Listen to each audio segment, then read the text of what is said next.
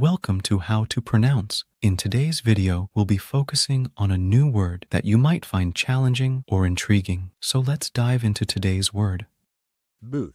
which means A small, enclosed space or compartment for a specific use.